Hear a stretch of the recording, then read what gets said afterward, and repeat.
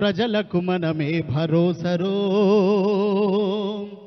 కొట్లాడి సాధించిన తెలంగాణ రాష్ట్రం అరే కాకుల గద్దల పాలై కాకూడదు కాష్టం.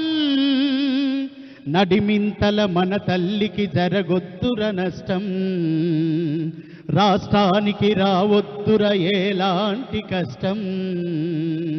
మరో పార్టీ నీడ తెలంగాణకు అరిష్టం. మరో పార్టీ నీడ తెలంగాణకు అరిష్టం. తెలంగాణ తల్లికి తెరసానే ఇష్టం.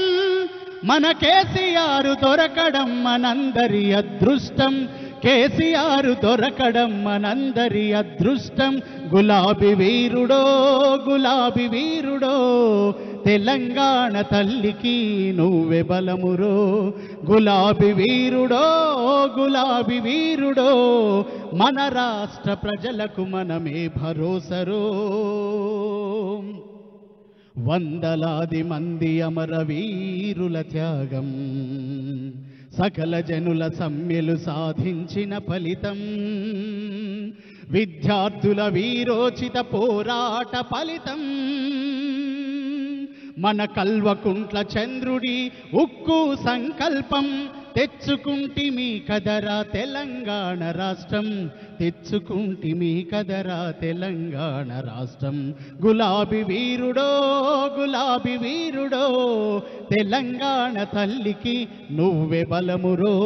గులాబీ వీరుడో గులాబీ వీరుడో మన రాష్ట్ర ప్రజలకు మనమే భరోసరో అరువది ఏండ్లది కథ మన తన్లాట పద్నాలుగు ఏండ్ల అలు పెరుగని కొట్లాట. అరువది ఏండ్లది కథ మన తన్లాట పద్నాలుగు ఏండ్ల అలు పెరుగని కొట్లాట. తెలంగాణ వేస్తున్నది బంగారు బాట. ఇంతల్లే ఏంది కుక్కల పీకులాట? ఈ నక్కల వేట. ఈ కుక్కల అరుపులకు నువ్వు జడిసావంటే కేసీఆర్ జెండా మోయానట్టేరో. ఢిల్లీ చులుముకు నువ్వు తలనే వంచావా? తెలంగాణ తల్లికి పుట్టానట్టేరో నువ్వు పుట్టానట్టేరో. గులాబీ వీరుడో గులాబీ వీరుడో తెలంగాణ తల్లికి నువ్వే బలమురో. గులాబీ వీరుడో గులాబీ వీరుడో మన రాష్ట్ర ప్రజలకు మనమే భరోసరో. కేసీఆర్ సైన్యంలో సైనికుడవ్వాలా? రాష్ట్రం రక్షించే బాధ్యత నీదవ్వాలా? మన కేసీఆర్ సైన్యంలో సైనికుడవ్వాలా? రాష్ట్రం రక్షించే బాధ్యత నీదవ్వాలా? ఈ మిడతల దండుకు నువ్వే పొగ పెట్టాలా? గులకరాళ్ళతో గుంపును తరిమే కొట్టాలా? మత పిశాచులకు నువ్వే మంటను పెట్టాలా కంచే తీరుగా నువ్వే కాపలి కాయాలా? గులాబీ వీరుడో గులాబీ వీరుడో తెలంగాణ తల్లికి నువ్వే బలమురో.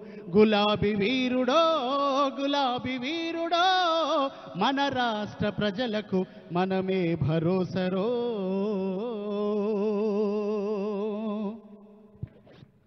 Thank you thank you very much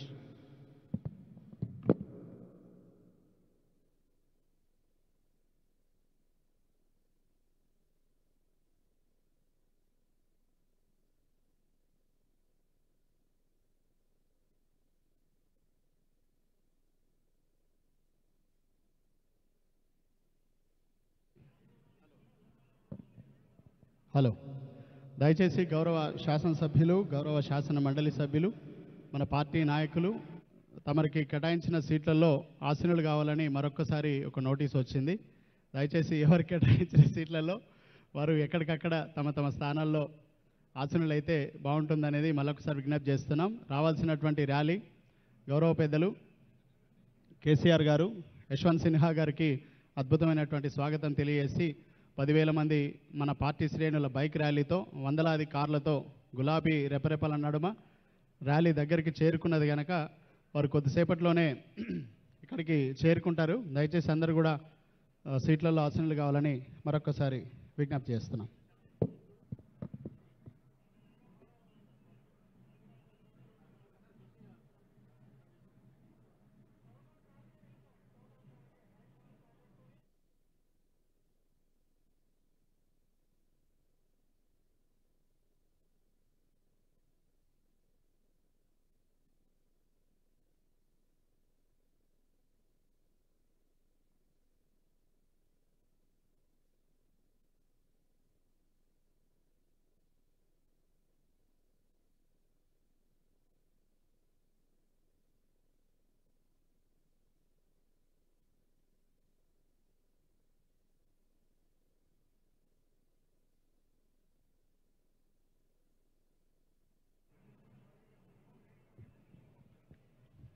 hello.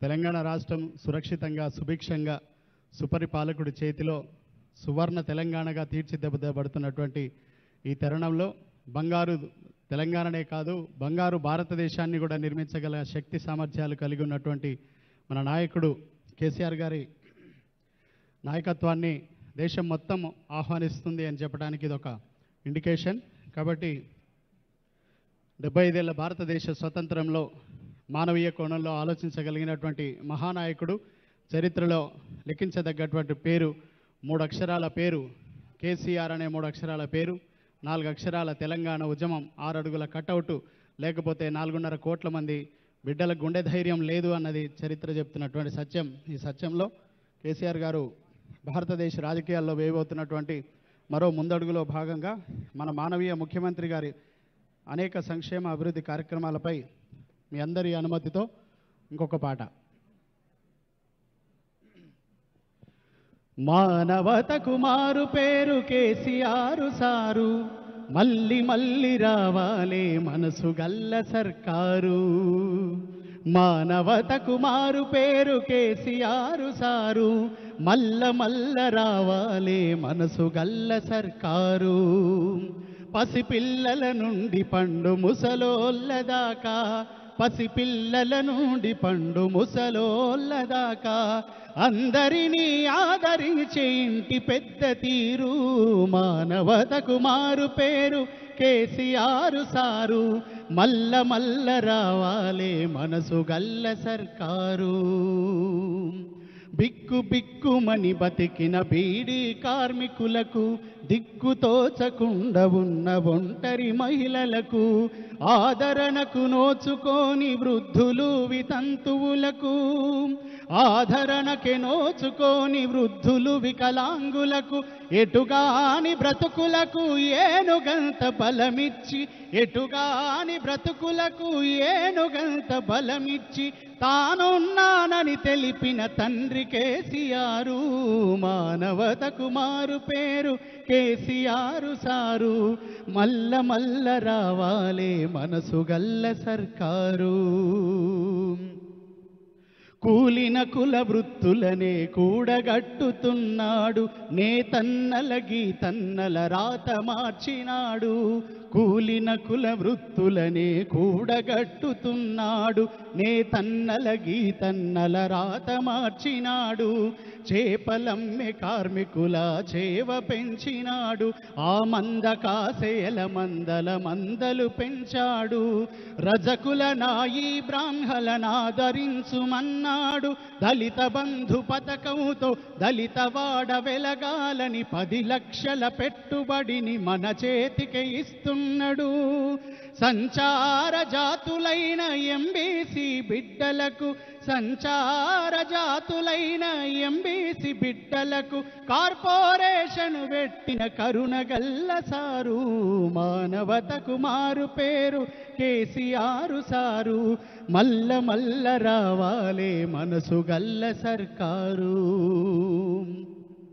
Bathukamma Ramzan Christmas పండగలకు బట్టలిచ్చి పుట్టినింటి కట్టమయ్యినాడు. నీళ్ళు పోసుకున్న తల్లి నిమ్మలంగా ఉండాలని తల్లి పిల్లలు ఇద్దరు చల్లగా బ్రతకాలని ఆరోగ్య లక్ష్మితోని ఆడబిడ్డనాదరించే పట్టుబట్టి కేసీఆరు కిట్టులనందించి పట్టుబట్టి కేసీఆర్ కిట్టులనందించి మాతృవందనం చేసిన మనసు గల్లసారు సారు. కుమారు పేరు కేసీఆర్ సారు.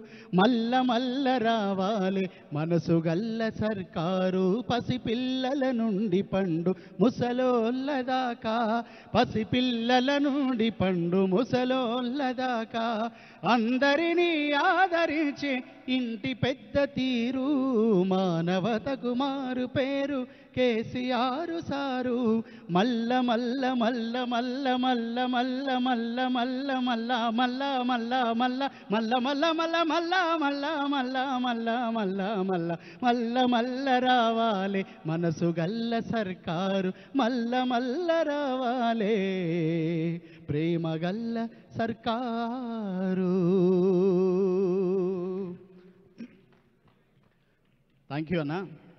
ఎప్పుడు కింద ఉన్న జనము ప్రేక్షకులు అభిమానులు చప్పట్లు కొడతారు కానీ ఇంతమంది శాసనసభ్యులు చప్పట్లు కొట్టుడు ఇది ఒక అరుదైన ఘట్టం ఇది. Thank you very much thank you for your blessings నేను కార్పొరేషన్ చైర్మన్ అయినా పాట పాడు తప్పలేదు నాకు ఇక. పార్టీ కోసం పార్టీ కోసం సార్ కోసం కారు కోసం సర్కారు కోసం పెద్ద మనిషి కోసం భవిష్యత్తు కోసం ఎట్టి పరిస్థితుల్లో ఎవరికి వచ్చిన పాలి వారు చేయాలనే సంకల్పంతో ఏదేమున్నా తల్లికి ఆపదొచ్చినప్పుడు ముందు నిలబడాల్సిన తనయులలో మళ్ళీ మనం అందరం కూడా నిలబడాల్సిన సందర్భం ఉన్నది కాబట్టి దేశం ఎదురే చూస్తోంది హస్తిన మిమ్ము పిలుస్తోంది. దేశం ఎదురే చూస్తోంది హస్తిన మిమ్ము పిలుస్తోంది అని ఇవాళ దేశమంతా తయారవుతున్నది.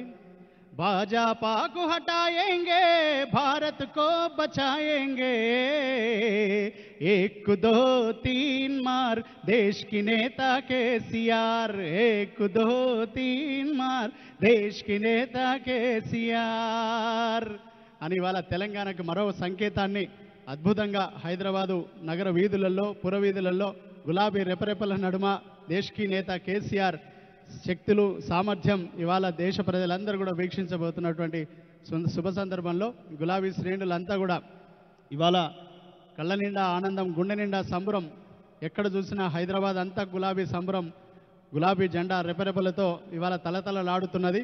కాబట్టి దేశం నిండా వస్తున్నటువంటి నాయకులకి తెలంగాణ ప్రగతిని మరొక్కసారి చవి చూపిస్తున్నటువంటి మన నేత మన అందరి బాంధవుడు కేసీఆర్ గారు సభా ప్రాంగణం లోపలికి వచ్చేసిండ్రు. ఒక్క నిమిషంలో వారు హాల్లోకి కూడా ప్రవేశించడం జరుగుతుంది. కాబట్టి పెద్దలందరూ కూడా తమకు సూచించినటువంటి పద్ధతిలో ఎవరికి వారు ఆసీనులు కావాల్సిందిగా విజ్ఞప్తి చేస్తున్నాం.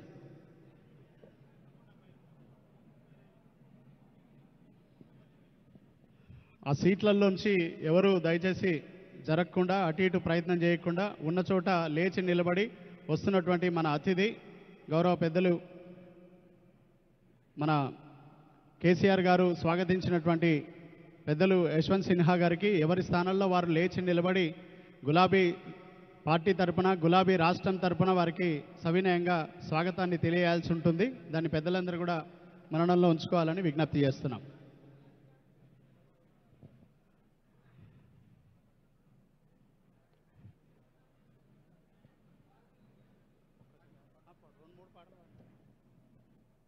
అందరికి నమస్కారం. ఇప్పుడే మన ప్రియతమ నాయకులు తెలంగాణ రాష్ట్ర ముఖ్యమంత్రి వర్యులు తెలంగాణ రాష్ట్రాన్ని సాధించినటువంటి ఉద్యమ నేత కేసీఆర్ గారు అదేవిధంగా రాష్ట్రపతి అభ్యర్థిగా రాష్ట్రపతి ఎన్నికల్లో పోటీ చేస్తున్నటువంటి యశ్వంత్ సిన్హా గారు మన సభా ప్రాంగణంలోకి విచ్చేసినారు.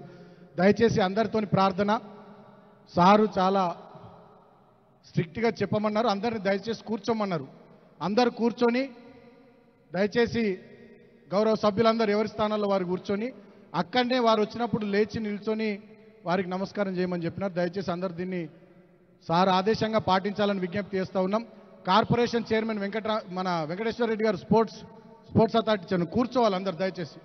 సునీల్ అన్న అందరు దయచేసి కూర్చోవాలి. రోహిత్ భాయ్ దయచేసి అందరు కూర్చోవాలి ప్లీజ్. ఎవరి స్థానం దగ్గర వాళ్ళు మాత్రమే లేచి నిలబడాలి. దయచేసి అందరు కూర్చోవాల్సిందిగా విజ్ఞప్తి.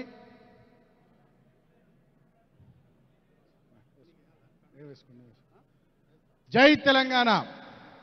గట్టిగా జై తెలంగాణ. జోహార్ తెలంగాణ మన వీరులకు. కేసీఆర్ గారి నాయకత్వం. కేసీఆర్ గారి నాయకత్వం. కేసీఆర్ గారి నాయకత్వం. జై తెలంగాణ. జై తెలంగాణ. దయచేసి అందరు కూర్చోవలసిందిగా కోరుతా ఉన్నాం. మధ్యలో ఎవరు ఉండొద్దు దయచేసి అందరు కూర్చోవాలి. జై తెలంగాణ. పెద్దలు కేసీఆర్ గారు విచ్చేస్తా ఉన్నారు. అందరూ మీ కరతాల ధ్వనుల మధ్య చప్పట్ల మధ్య గౌరవ ముఖ్యమంత్రి వర్యులు కేసీఆర్ గారికి అదేవిధంగా రాష్ట్రపతి ఎన్నికల్లో పోటీ చేస్తున్నటువంటి శ్రీ యశ్వంత్ సిన్హా గారికి మీ చప్పట్ల మధ్య స్వాగతం పలకాల్సిందిగా కోరుతా ఉన్నాం. దయచేసి అందరూ కూడా గట్టిగా చప్పట్లతో యశ్వంత్ సిన్హా గారికి అదేవిధంగా మన ప్రియతమ ముఖ్యమంత్రి వర్యులు కల్వకుంట్ల చంద్రశేఖరరావు గారికి స్వాగతం పలకాల్సిందిగా కోరుతా ఉన్నాం. జై తెలంగాణ. జై తెలంగాణ. జై తెలంగాణ. జై జై తెలంగాణ. కేసీఆర్ గారి నాయకత్వం. వర్ధిల్లాలే కేసీఆర్ గారి నాయకత్వం. వర్ధిల్లాలే జై తెలంగాణ. జై జై తెలంగాణ. కల్వకుంట్ల చంద్రశేఖరరావు గారి నాయకత్వం. వర్ధిల్లాలే కల్వకుంట్ల చంద్రశేఖరరావు గారి నాయకత్వం. వర్ధిల్లాలే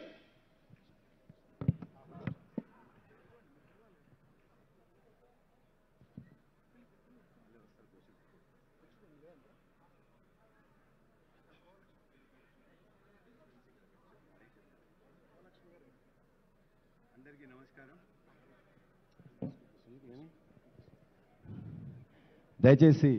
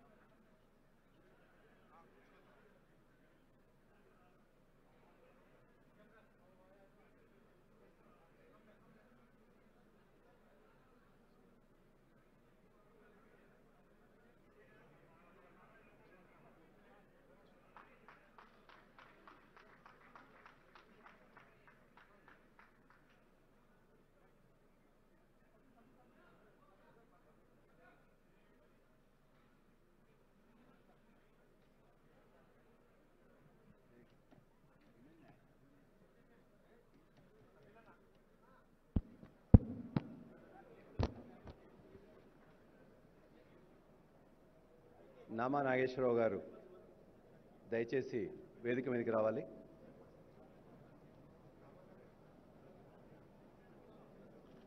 అందరూ ఆసీన్ కావాల్సిందిగా విజ్ఞప్తి చేస్తున్నాను.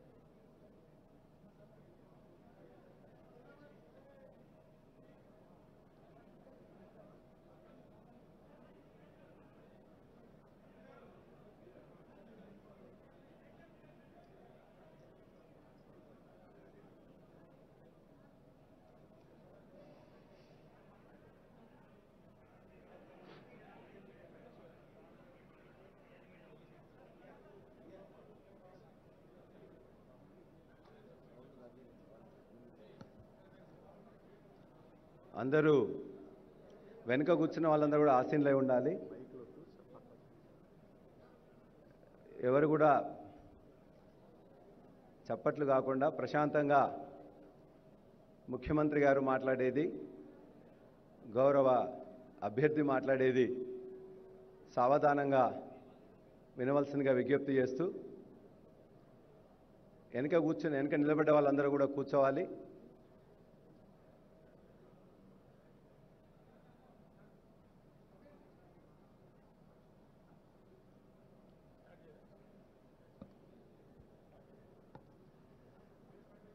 అందరికీ నమస్కారం. Respected chief minister of Telangana the president of Telangana Rashtra Samithi TRS party honourable Kalvakuntla Chandrasekhara Rao garu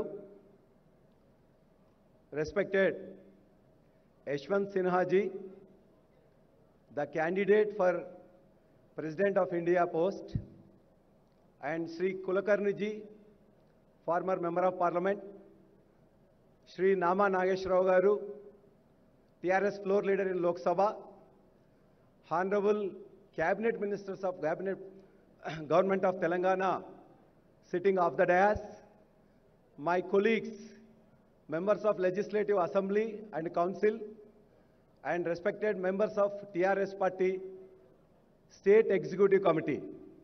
Good afternoon to everyone.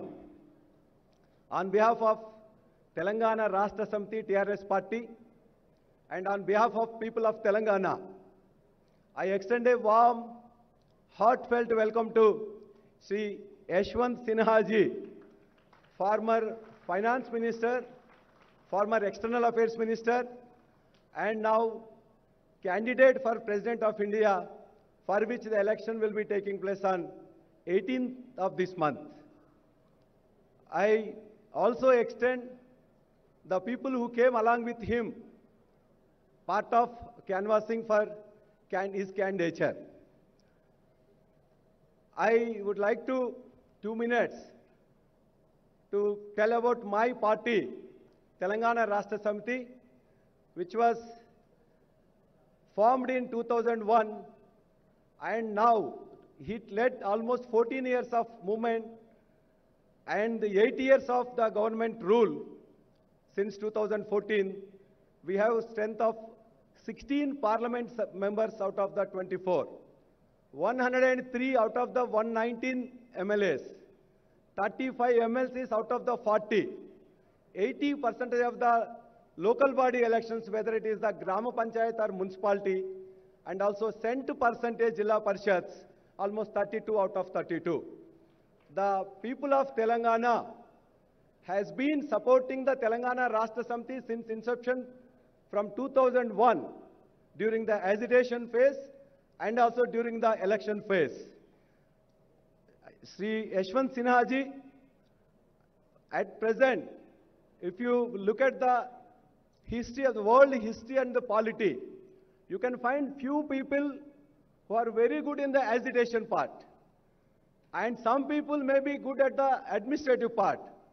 But we have very fortunate, our Kalvakuntla Chandrasekhar Rao, popularly known as KCR, is a mix and rare blend of both agitation and also administration.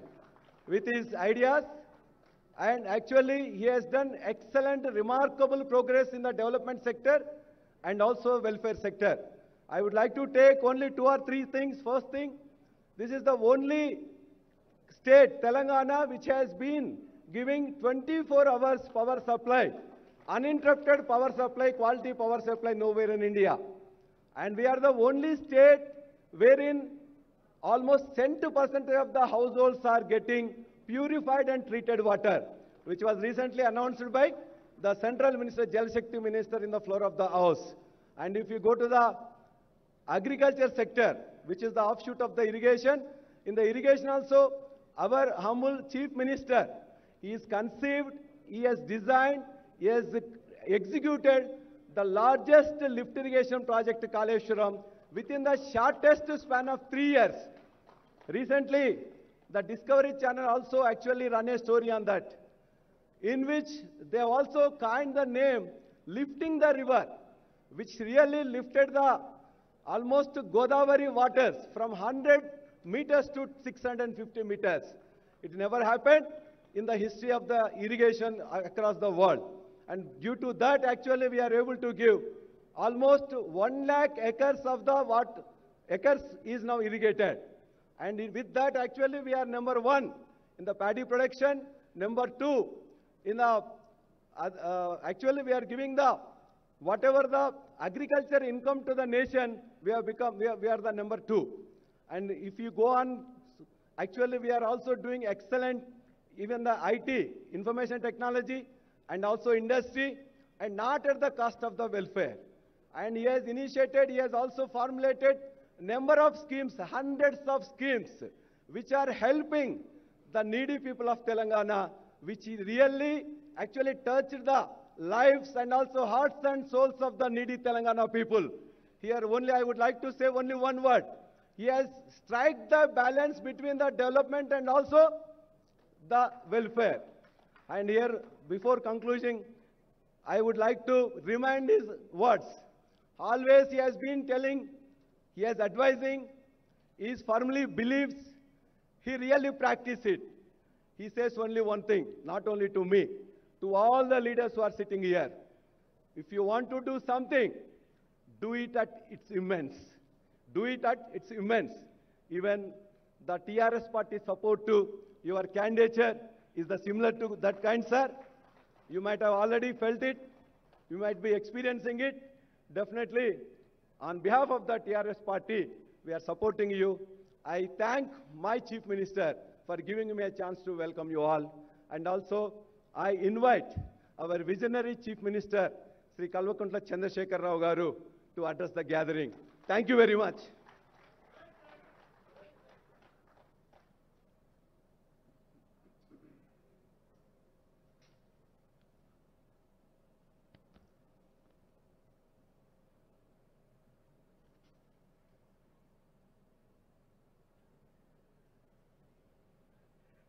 हमारे देश के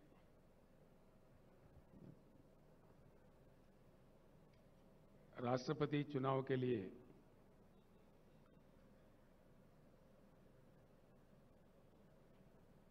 चुने गए सम्मानित नेता, माननीय यशवंत सिन्हा जी, मंच पर उपस्थित टीआरएस पार्टी के लोकसभा के नेता श्री नामा नागेश्वरराव जी। राष्ट्रपति चुनाव के लिए कोऑर्डिनेशन कमेटी जो बनी, उसके चेयरमैन भूतपूर्व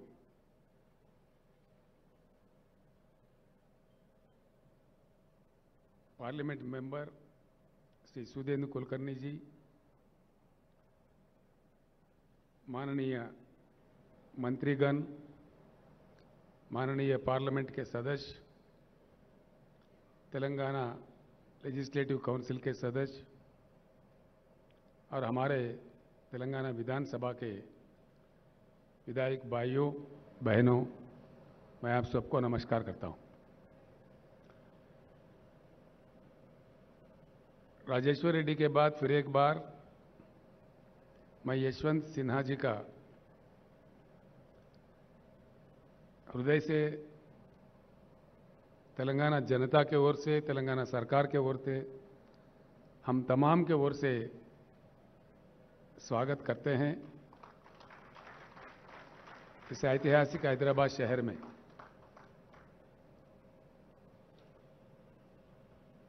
यशवंत सिन्हा जी, एक अच्छे, सच्चे टॉल पर्सनालिटी है। उन्होंने अपने करियर एडवोकेट के रूप में स्टार्ट की है। बाद में वो आईएएस अधिकारी भी बने। अधिकारी के रूप में भी कई सेवाएँ देश को उपलब्ध कराए। उसके बाद राजनीति में आए। और सम्मानित रूप से एक बार वो वित्त मंत्री थे देश के, और एक्सटर्नल अफेयर्स मिनिस्टर भी रह चुके हैं। उसके बाद उनके जो इनसाइट्स थे, जो मंत्रालय वो संभाल रहे थे, अंतर्राष्ट्रीय स्तर पर भी पेरिस में उनको पुरस्कार दिया गया। उनको सम्मानित भी किया गया। ऐसे एक नेता को आज स्वागत करने में हम फकर महसूस करते हैं। आज हम भाग्यशाली है कि एक अच्छे नेता को अच्छे ढंग से हमने राष्ट्रपति पद के लिए चुना है और आज हैदराबाद में जब वो आए, हम बड़ी अच्छी तादाद में उनके स्वागत भी किए हैं। इस चीज़ को लेकर देश के सारे पार्लियामेंटेरियंस को मैं एक अपील करना चाहूँगा, भारत में हमारे लोकतंत्र है। We have a democracy in practice in India इससे पहले जब वीवी गिरी साहब राष्ट्रपति चुनाव के लिए लड़ रहे थे उस समय हिंदुस्तान में एक नारा चला कि भाई आत्म प्रबोध से वोट दीजिए। और उसी के अनुसार वीवी गिरी जी का भी जीत हुआ। यह हमारे देश के इतिहास में है।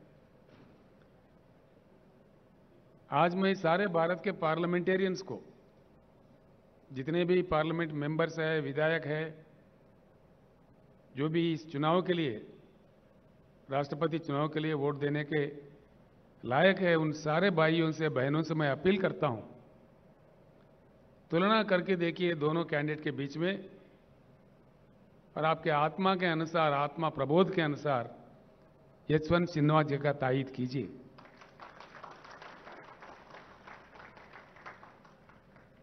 यशवंत जी, मैं दो चार शब्द ज़रूर कहना चाहूँगा। आशा करते हैं कि आप जीत जाए और देश का मान्यता बढ़े, देश का मान मर्यादा बढ़े। आप जैसे पर्सनालिटी जीतती है, व्यक्तिगत तौर पर आपका तो पर्सनालिटी बढ़ेगा ही, लेकिन देश का मान मर्यादा और बढ़ेगा। लेकिन क्या हो रहा है इस देश में? आज जो कुछ भी हो रहा है, गलत हो रहा है। जो कुछ भी किया जा रहा है, गलत किया जा रहा है। ऐसे स्थिति में देश को खामोश नहीं रहना चाहिए। आवाज़ उठाना चाहिए, सबको एकत्रित होना चाहिए। और एक परिवर्तन परिवर्तन ऐसा वैसा नहीं, एक उच्च गुणवत्ता वाली परिवर्तन। We need to bring in a qualitative change in Indian politics the requirement of the nation today आज के हमारे जो प्रधानमंत्री है, वो आज हैदराबाद आने वाले हैं। दो दिन के लिए यहाँ रहने वाले हैं।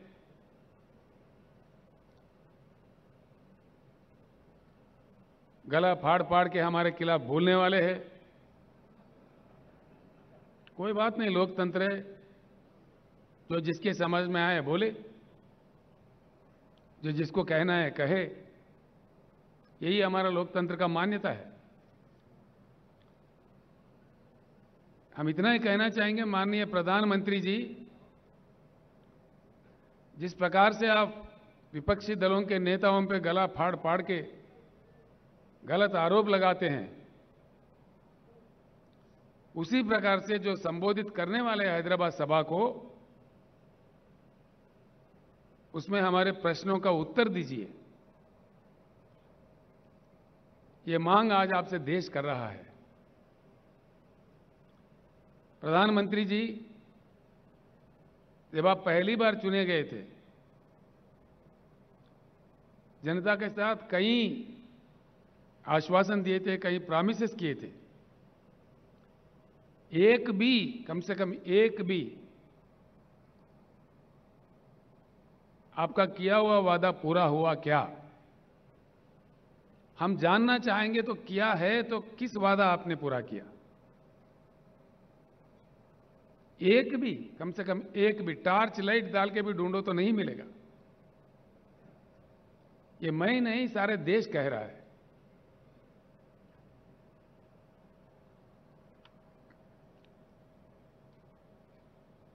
आप समझते हैं, आपसे बड़ा बुद्धिशाली कोई है ही नहीं। ठीक बात है।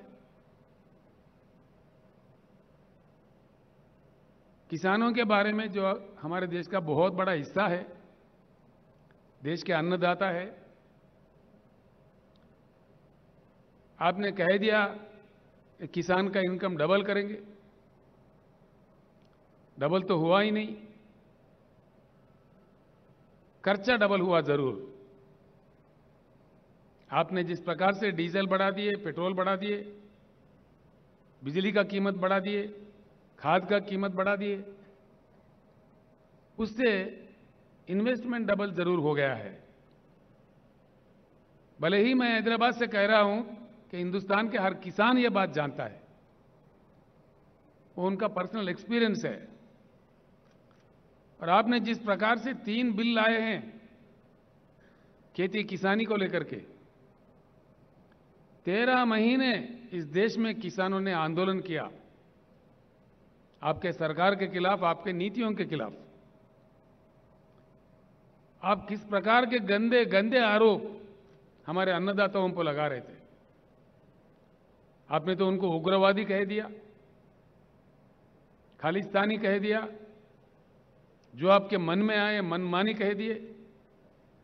आपके मंत्रियों ने आंदोलनकारियों पे जीप चढ़ाए। कार चढ़ाए, मार दिए, हत्या भी किए। और उस दौरान 700 किसान वीर गति पाए। आंदोलन लड़ते लड़ते 700 किसान का मृत्यु हुआ। आपको इस चीज़ का एहसास ही नहीं है।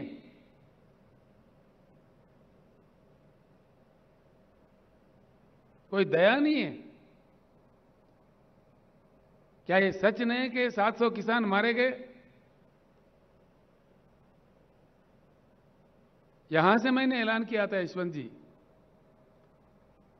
आंदोलन के दौरान जिन किसान भाइयों ने अपनी जान गंवाई है, उनको तो हम लौटा नहीं सकते, लेकिन उन परिवारों के देखभाल के लिए तेलंगाना सरकार की ओर से हमने तीन तीन लाख रुपए हर घर में देने का घोषणा किया। और हाल ही में मैंने पंजाब सरकार के सहयोग से चंडीगढ़ तक जाके वहाँ किसानों के हाथ वो चेक दे दिए। इसके भी हमारे प्रधानमंत्री, हमारे भाजपा के नेता मज़ाक उड़ा रहे थे। आप तो देते ही नहीं। कम से कम जो देने वाले हैं, उनका मज़ाक भी उड़ाते हैं, ये आपका राज है, ये आपका नीति है। इस प्रकार का सरकार आप चला रहे हैं इस देश में। दोस्तों, ये सोचने की बात है, जिस प्रकार के बातें माननीय प्रधानमंत्री कह रहे थे, माननीय कृषि मंत्री कह रहे थे, भाजपा के वरिष्ठ नेता लोग कह रहे थे, किसानों का जिस प्रकार अपमानित कर रहे थे, आखिरकार हुआ क्या? अगर आप सही थे, अगर आपके बनाए हुए कानून सही थे आखिर हुआ क्या? देश, सारा देश के सामने आपको सर झुका के किसानों को माफ़ी मांगना पड़ा। आपने माफ़ी मांगा? ये तो प्रधानमंत्री का आदत है। चुनाव के वक्त है, मीठी मीठी बातें।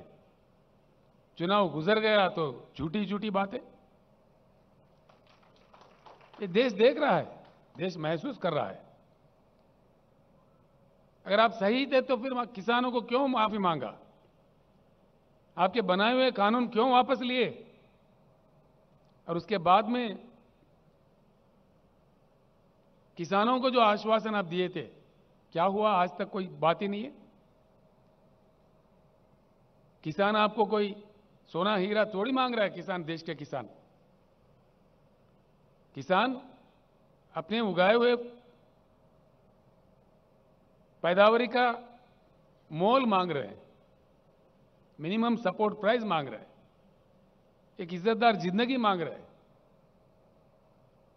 जिस प्रकार से आप पूंजीपतियों का, एनपीएस का कर्जा उतारते हो, लाखों करोड़ देके, वो नहीं मांग रहे किसान। किसान मांग रहे तो अपने हक मांग रहे अपने पैदावारी का दाम मांग रहे वो भी देने का क्षमता आपके पास नहीं है। आप आवाज़ ऊँचा करके, बात करके, जो मन में आए कह के, आप कहते जाओ, आगे ये नहीं चलने वाला है इस देश में। किसी भी एक वायदा, किसी भी एक प्रॉमिस आपने फुलफिल नहीं किया।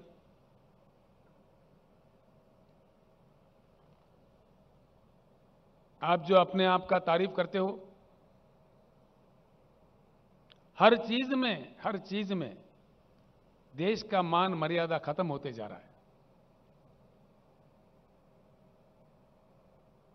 आपका तानाशाही दिन ब दिन बढ़ते जा रहा है, जो देश के लिए खतरा है।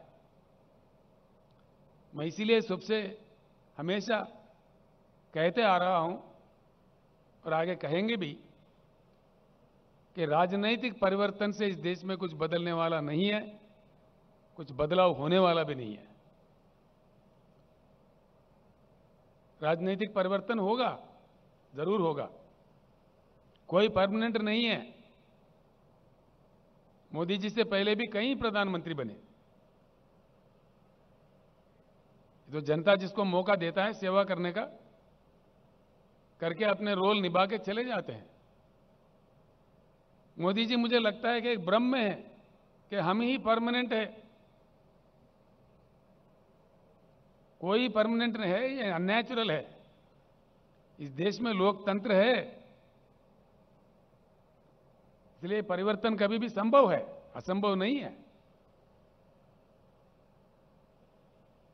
क्या चला रहे हैं आप? देश में क्या हो रहा है? किस प्रकार का नीतियाँ अपनाया जा रहा है?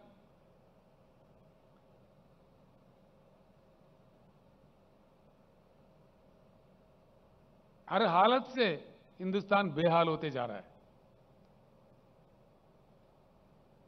किसान परेशान, बेरोजगार नौजवान परेशान, उद्योगपति परेशान, इन्फ्लेशन बढ़ रहा है प्राइस राइज हो रहा है एसेंशियल कमोडिटीज का। आपका एडमिनिस्ट्रेशन का गुणवत्ता क्या है? क्या नतीजा मिला है इस देश को? Gross misuse of all constitutional bodies gross misuse दिन ब दिन देखने को मिलता है इस देश में। आप हावी है, आप प्रहार कर रहे हैं। जो आपके विरोध में बोलता है, उनको सताया जाता है। लोकतंत्र का खात्मा कर रहे हैं आप। लोकतंत्र का हत्या कर रहे हैं। राज्यों के सरकार को गिराने में आप व्यस्त है। अब तक नौ नौ सरकारें आपने गिराई है। यह आपके रिकॉर्ड में है।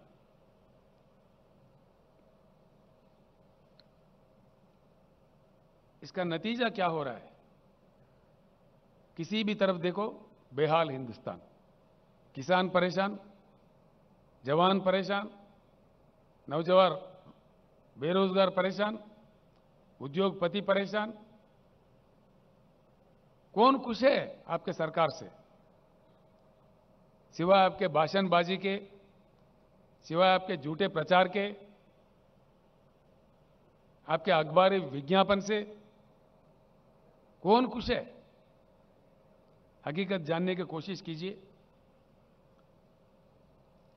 मैं आपसे मांग करता हूँ, माननीय प्रधानमंत्री जी भाइयों, मैं आपको एक बात ज़रूर बताना चाहूँगा। नरेंद्र मोदी जी पंद्रहवा प्रधानमंत्री है इस देश का। Is the fifteenth prime minister of India इनसे पहले चौदह प्रधानमंत्री और बने थे। किसी के कालखंड में भी, किसी के भी कालखंड में देश का मान, मर्यादा इतना नहीं गिरा जितना आपके कालखंड में गिर रहा है। प्रधानमंत्री जी आपके नारा है, भाषण शुरू करने से पहले भारत माता की जय। अगर आपके नारा में सही दम है, आपके रगों में बहता हुआ खून में, एक बूंद में भी ईमानदारी है, सच्चाई है तो एक बात मैं सवाल कर रहा हूँ, उसका उत्तर दीजिए। कल के सभा में देश के सामने बताइए कि आपके खिलाफ किस प्रकार का जन आंदोलन चल रहा है। श्रीलंका देश में। क्यों चल रहा है? आपने श्रीलंका जाके प्रधानमंत्री का रोल नहीं निभाया, बल्कि एक छोटा सा व्यापारी का सेल्समैन बन गए थे आप। देश का अपमान किए। नतीजा, श्रीलंका का जनता टूट पड़ी है श्रीलंका के रोडों पे। यह शोभा देता है हमारे देश को। अंतर्राष्ट्रीय स्तर पर देश को सर झुकाना पड़ रहा है आपके कारनामों के वजह से। क्या ये सच नहीं है? आपके मंत्री लोग, आपके प्रवक्ता लोग, आप खुद भी गला पाड़ पाड़ के बड़े ऊँचे आवाज़ में बोलते हो, क्यों चुप्पी साधे हुए है श्रीलंका के मामले में? कोई सरकारी प्रवक्ता अपना मुँह क्यों नहीं खोल रहा है? और आप अपने आप में खुद में क्यों नहीं बोल रहे इस बात में? क्यों चुप्पी साधे हुए हो? क्या वजह है इसके? और इससे बड़ी चीज़ क्या हो सकता है? श्रीलंका पार्लियामेंट कमेटी के सामने श्रीलंका इलेक्ट्रिसिटी बोर्ड के चेयरमैन बयान दिया। दुनिया के सामने खुलेआम कि भारत के प्रधानमंत्री के दबाव के कारण हमने यह कॉन्ट्रैक्ट किसी हिंदुस्तानी व्यापारी को दिया। ये क्या देश का इज़्ज़त बढ़ाएगा? किसी भी आपसे पहले आए हुए, बने हुए किसी भी प्रधानमंत्री जी के कालखंड में ऐसे आरोप भारत पर नहीं लगे।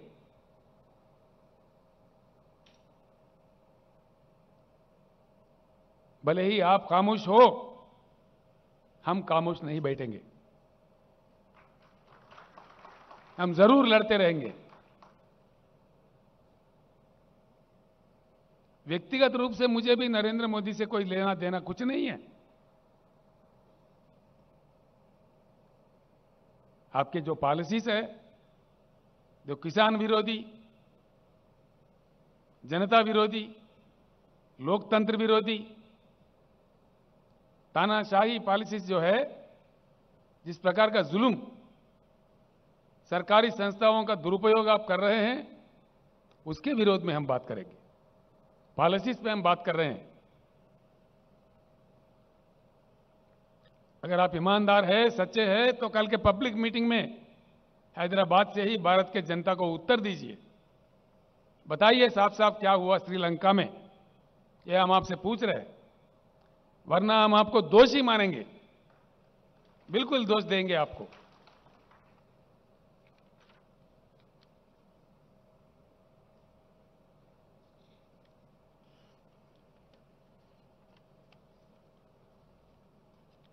आपका और एक नारा था जब आप प्रधानमंत्री बने थे। Make in India. मैं पूछ रहा हूँ, माननीय प्रधानमंत्री जी, कुछ नतीजा मिला इसका? आपके डर से, आपके रवैया से, आपके नीतियों से पूंजीपति अपने निवेश को वापस लेके देश से भाग रहे भूतपूर्व केंद्रीय सरकारियों के गलत से पहले हमारे देश से बहुत सारा ब्रेन ड्रेन हुआ। अब आपके कालखंड में आज निवेश का ड्रेन हो रहा है। लाखों करोड़ विथड्रा करके विदेशों में जा रहे। हैं मेक इन इंडिया में लोग नहीं आए, मेक इन इंडिया में कुछ नहीं हुआ। ये तो झूठ था। बिल्कुल झूठ, सफ़ेद झूठ। हुआ ही क्या है? कल के भाषण में बताइए, क्या हुआ मेक इन इंडिया से? कुछ आया देश में, या कुछ गया? कितने भारी उद्योग चले गए? कितने श्रमिक रोडों पे आ रहे हैं? आपके गलत नीतियों के कारण से। तुलना कीजिए। अगर आपके पास बुद्धि की कमी है तो सीख सकते हैं। हमारे बगल में हिमालय के उस पार रहने वाले चाइना में क्या हुआ? वहाँ बातें कम, काम ज़्यादा। अच्छा नतीजा।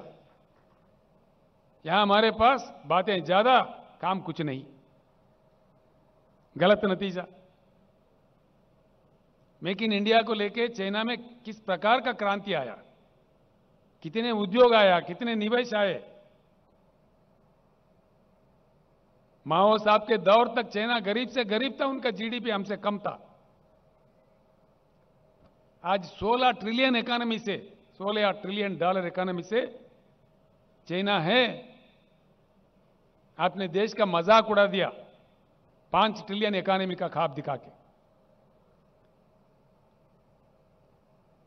पाँच ट्रिलियन ही मज़ाक था। अपने आप में हासिल होने वाला प्रगति को आपने आपका प्रचार कर लिया पाँच ट्रिलियन इकोनॉमी का। खैर, ठीक है, वो पाँच ट्रिलियन में भी पहुँचेंगे हम लोग। आज कहाँ पे है हम लोग? हमारे से बुरा हाल रखने वाला चाइना, हमारे से कम जीडीपी रखने वाला चाइना, हमारे से कम कल्टिवेबल एरिएबल लैंड रखने वाला चाइना, आज कहाँ है 16 ट्रिलियन इकोनॉमी से? आज हम कहाँ हैं? 3.1 ट्रिलियन डॉलर पे है हम लोग आज। इसी रफ्तार से अगर हम चले, आपके बताए हुए पाँच ट्रिलियन पे भी पहुँच पाएगा हिंदुस्तान? कभी नहीं। यह असंभव है। आपके कालखंड में तो देश में हर चीज़ गिर गया। जीडीपी क्रैश, ये मेरा नहीं। सरकारी फिगर से इन्फ्लेशन बढ़ता। जीडीपी गिरता प्राइस राइज तो आप कंट्रोल नहीं कर पाते। फिर किस चीज़ के आप कंट्रोल कर पा रहे लाखों, करोड़ों श्रमिक जो उद्योगों में काम करके के अपने जीवन बिताते, वो बेहाल है, परेशान है, मजबूर है, आंदोलन कर रहे हैं। और आप उसका अपमान करने में व्यस्त है? मोदी जी, मैं एक बात पूछता हूँ। सौ साल के लिए, एक सौ साल के लिए उपयोग करने के लिए हमारे देश में भगवान हो या प्रकृति हो, दिया हुआ संपत्ति है कोयला, एक सौ साल के लिए। और भी जियोलॉजिकल सर्वे से और भी निकल रहा है।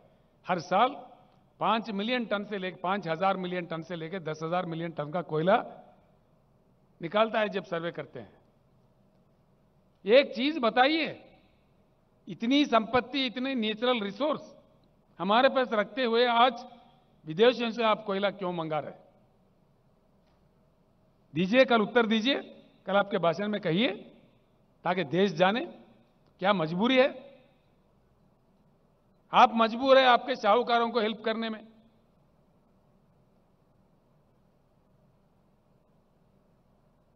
आप तो है मजबूर, राज्यों के सरकार पे दबाव डाल रहे हुकुम पे हुकुम दिए जा रहे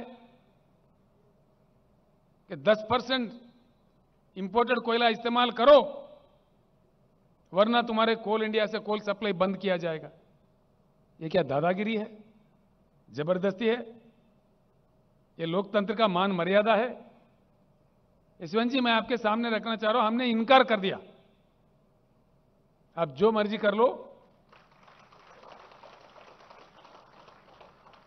क्योंकि हमारा एक इतिहास है, कोल इंडिया के अलावा हिंदुस्तान में एक ही राज्य है जय जिसके पास एक कोयला खाना है, उसका नाम है सिंगरेनी कालरीस। हमने कहा, हमारे खुद का कोयला है तो हम क्यों ले? हैरत की बात यह है, हिंदुस्तान का कोयला चार हज़ार के अंदर एक टन मिलता है। मोदी जी का जो कोयला है 25 से लेकर तीस हज़ार का मिलता है। चार गुना, पाँच गुना ज़्यादा दाम देके, क्योंकि इनका दोस्त है, एक साहूकार, वो इंपोर्ट करता है। इसीलिए मैं आपको टाइटल दे रहा हूँ कि आप प्रधानमंत्री का काम नहीं कर रहे हो, आपके साहूकार दोस्तों का सेल्समैन बन के काम कर रहे हो। हाँ, बिल्कुल।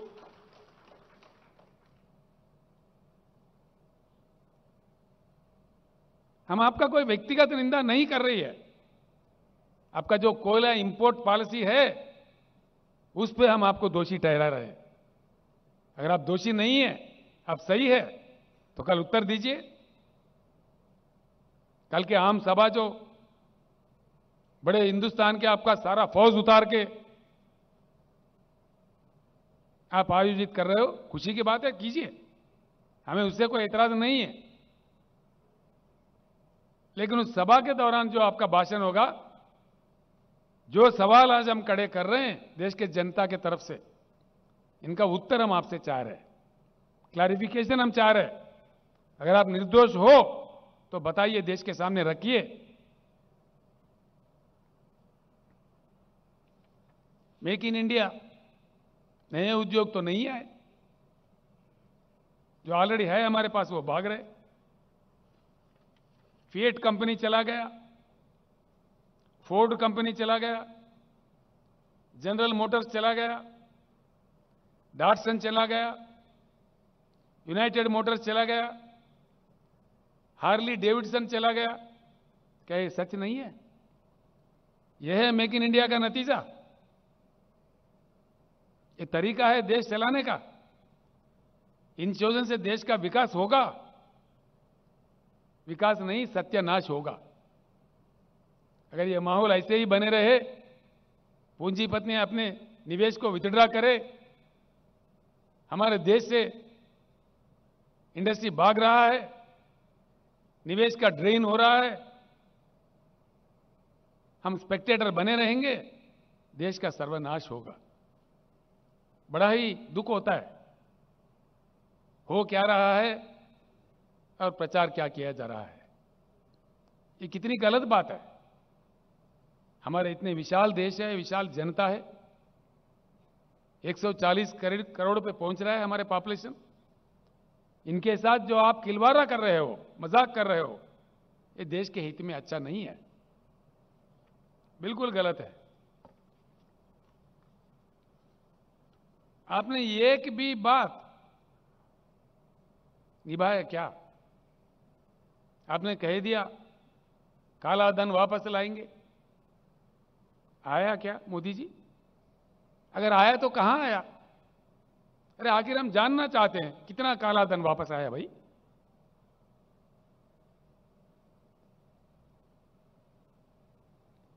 सर, झुक जाता है शर्म से। सरकारी आंकड़े बताते हैं, कालाधन डबल हो गया, दुगना हो गया। कालाधन कंट्रोल नहीं हुआ, लेकिन डबल हुआ। स्विस बैंक से पैसे नहीं आए। मोदी जी के कालखंड में दुगना हो गए डबल हो गए। ये रिपोर्ट्स है। ये हमारे आरोप नहीं है हकीकत है। ये सारे देश और दुनिया जानता है कि यही विकास है। यही आपका महान कार्यकर्ता है।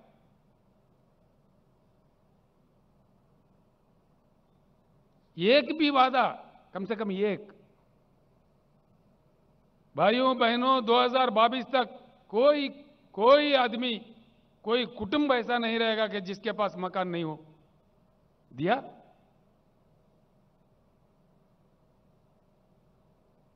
हम तो 2022 में आ गए। मोदी जी अभी नहीं पहुँचे 2022 में। बड़ी अजीब बात है।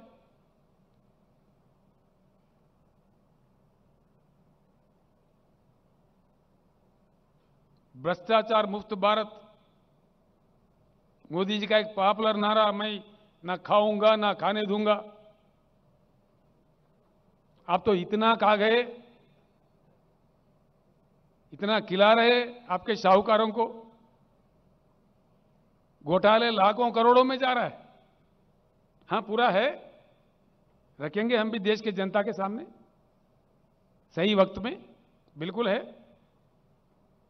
किस किस देश से किस किस आपका व्यापारियों का आपने सेल्समैन बन के काम किया, उसके पीछे कितने बड़े बड़े घोटाले हैं। देश जान चुका है मोदी जी। आप डरा धमका के कितनों के आवाज़ दबाओगे? कितनों को रोकोगे? भ्रष्टाचार बढ़ गए देश में, घोटाले बढ़ गए, बैंक के लुटेरे बढ़ गए एनपीएस का लेवल इस कद में बढ़ा। मोदी जी, आपसे पहले नॉन परफॉर्मिंग अकाउंट्स का जो गिनती है, वो सिर्फ़ चार पाँच लाख करोड़ में थे। आज एनपीएस का क्या दर है? बीस लाख करोड़, ये है विकास मोदी जी। इस तोहफा दिया आपने देश को। क्या ये भी गलत है? हम जो कह रहे हैं, सच कह रहे हैं। आप ही के बताए हुए आंकड़े कह रहे हैं। ये हमारे आंकड़े नहीं है। These figures are not mind this figure has been given by the honourable finance minister of India as an answer to the question in the parliament the rate of NPS in India today is about eighteen point six lakh crores पता नहीं उसके बाद में और कितने बड़े this is the reply by the honourable finance minister of India यह आपके गतिशील, विकासशील नीतियों का नतीजा है क्या? किस चीज़ का यह नतीजा है?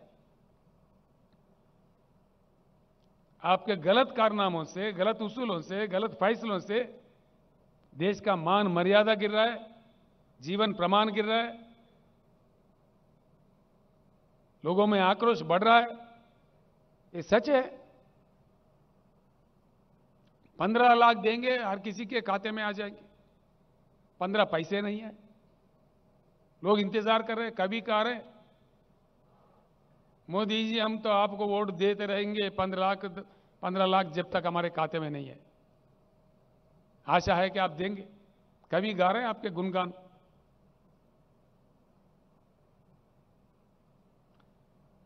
किसी भी वादा उद्योगपतियों के साथ, छोटे उद्योगों के साथ आपने जो वायदा किया, एमएसएमई को एक घंटे के अंदर लोन देंगे। महीनों भर भी इंतज़ार करें, नहीं मिलता। बस आपका वादा वादा रह गया।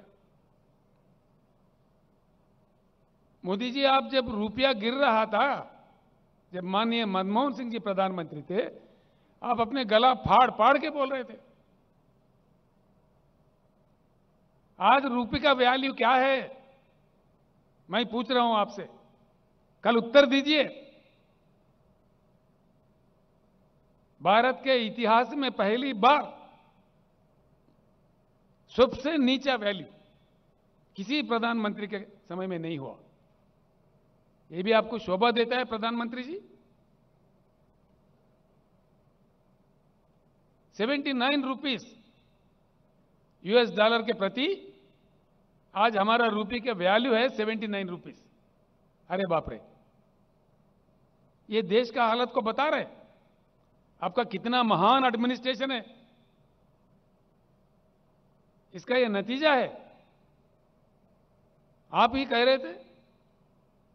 मैं जानना चाहता हूँ भाई, नेपाल का रुपया नहीं गिरता, बांग्लादेश का नहीं गिरता, सिर्फ़ भारत का ही क्यों गिरता? हम जानना चाह रहे हैं मोदी जी, आज भारत का ही रुपया क्यों गिरता?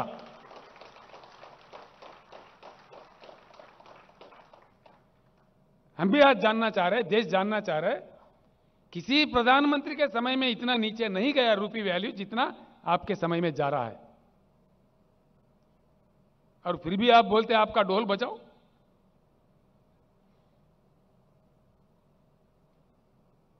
क्या यह सच्चाई नहीं है? अगर आप निर्दोष हो, इसका उत्तर दीजिए कल के सभा में, जनता को बताइए। हम खुलेआम पूछ रहे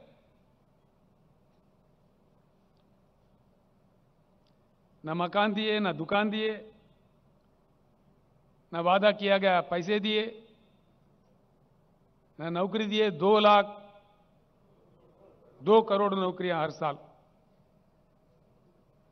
अब हैरत की बात यह है, नया तो नहीं मिले लेकिन जिस कदर आप प्राइवेटाइज कर रहे हैं एलआईसी जैसे संस्था को भी बेच रहे नवरत्ना को भी बेच रहे लोगों को रोड पे लाया जा रहा है, नया तो नहीं मिले लेकिन है, जो मौजूदा है वो भी जा रहे ये मेरा बात नहीं, सारे देश ये बात जानता है।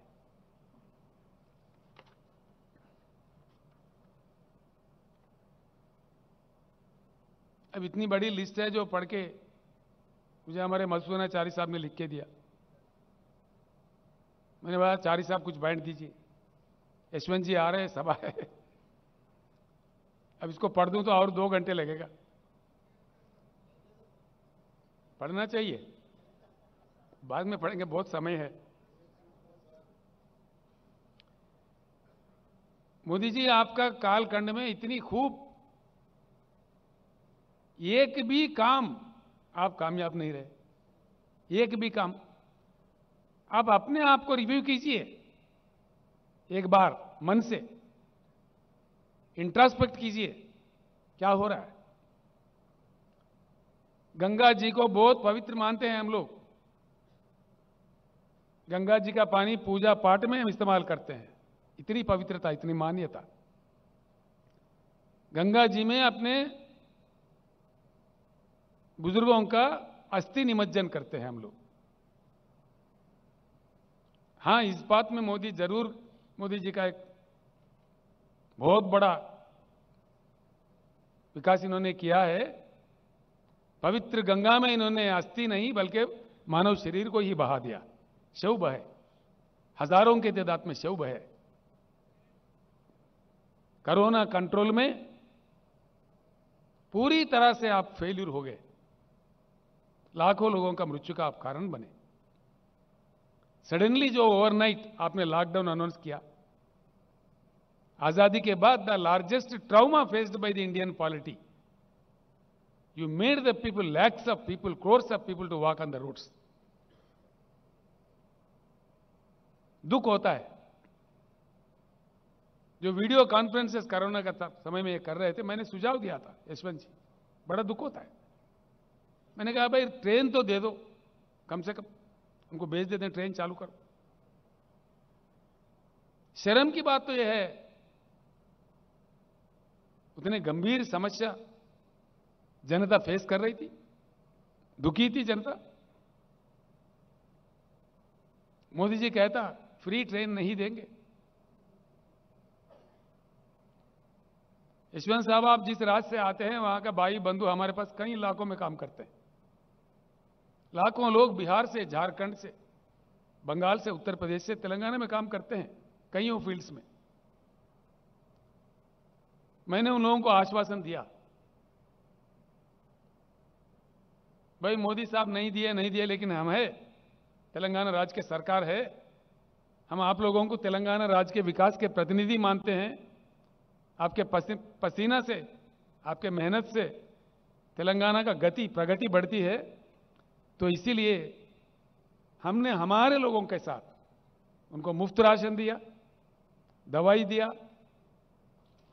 फ्री ट्रेन 178 ट्रेन तेलंगाना सरकार के ओर से बुक करके वो घर पहुँचे तक उनको हर चीज़ वाटर बॉटल्स के साथ, खाने के साथ उनके जेब में एक एक हज़ार रुपए देके हमने उसको विदा किया।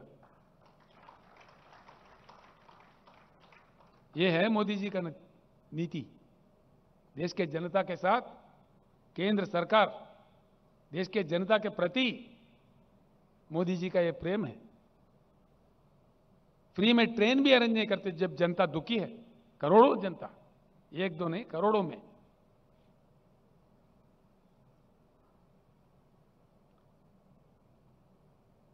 हर चीज़, हर पॉलिसी देश को नष्ट कर रहा है।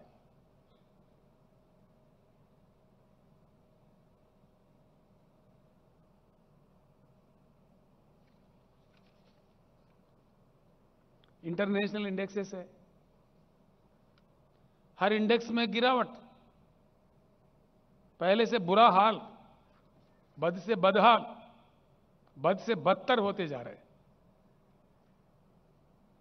ह्यूमन डेवलप इंडेक्स में हमारे स्थान 80 पर था। माननीय मोदी जी के कालखंड में 131 पे पहुँच गए। यह आपका मिसरूल का नतीजा है। हंगर इंडेक्स में हमारे भारत का स्थान तिरसठ था। आज मोदी जी के बदौलत, मोदी जी के महान कार्यकर्ता का निशाना है, हम 101 पे पहुँच गए। From 63 to 101 individual rights fundamental rights Hindustan का जगह पचासी था 85 आज हम पहुँच गए 119 यहाँ पे भी गिरावट। बेरोजगारी ever highest in the history. Modi ji आने से पहले इसका दर, इसका percentage it was at 5.6 percent unemployment in the country today it is महान मोदी जी के महान एडमिनिस्ट्रेशन का नतीजा यह है ever high in the country 8.1 percent पे पहुँच गया। अनएम्प्लॉयमेंट रेट ये भी आंकड़े हमारे नहीं है। प्रेस फ्रीडम भारत का स्थान 131 था, आज 142 पे पहुँच गया। और आपने बड़ा मेहनत करके मोदी जी, गोदी मीडिया भी आपने सृष्टि किया भारत में तो सारा देश जानता है। हैप्पीनेस इंडेक्स 111 हमारा स्थान था। मोदी जी के प्रभाव से 136 पे पहुँच गया एनवायरमेंटल इंडेक्स में 180 देने, देशों को गिना गया था। हमारा नंबर 180 आ गया। बॉटम कंट्री ये ये हमारा देश का हालत है। ये आपका कार्यकारिता है। आपने जिस प्रकार का मज़ाक उड़ाया देश का, देश के जनता का, जिस प्रकार का गिरावटें देखने को मिल रहा है, राष्ट्रीय स्तर पर, अंतर्राष्ट्रीय स्तर पर इससे हर चीज़ हर चीज़ खराब होते जा रहे हैं। कईयों बातें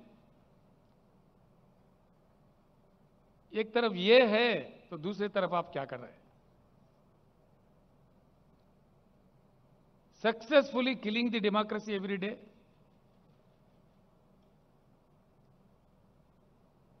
successfully the killing the federal system of India राज्यों के सरकार को सताना? जो इनके बात नहीं मानते, उनको गिराना? इतने महान लोग हैं। एक आश्चर्यजनक बात है, सर। आश्चर्यजनक। यहाँ महान केंद्रीय मंत्री है, जो मैं, मोदी साहब के क्लासेस सुन के ट्रेंड है। बड़े महान मंत्री देख रहे केंद्रीय मंत्री आज हैदराबाद में कह रहे बड़ा आश्चर्य होता है। साहब, यहाँ पे 119 एमएलए सीट है। जिनमें से हम और हमारे फ्रेंडली पार्टी मिलके 100 सीट हम जीत लिए थे। 88 तो हम जीते थे पचानवे 95 सीट्स हम जीते थे। Three fourth with three fourth majority उसके बाद में हमारी संख्या बढ़ी। आज टीआरएस के एमएलए है 103, 104 और हमारे एक फ्रेंडली पार्टी है उनके एमएलए सात। और माननीय केंद्रीय मंत्रीगण जो हैदराबाद में बैठे हुए हैं, वो कह रहे हैं, महाराष्ट्र में जैसा सरकार गिरा है, तेलंगाना में देखने को मिलेगा तेलंगाना सरकार भी गिराएँगे। ठीक बात है, गिराइए।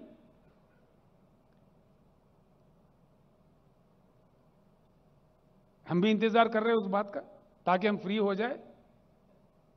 आपको दिल्ली से उतार देंगे।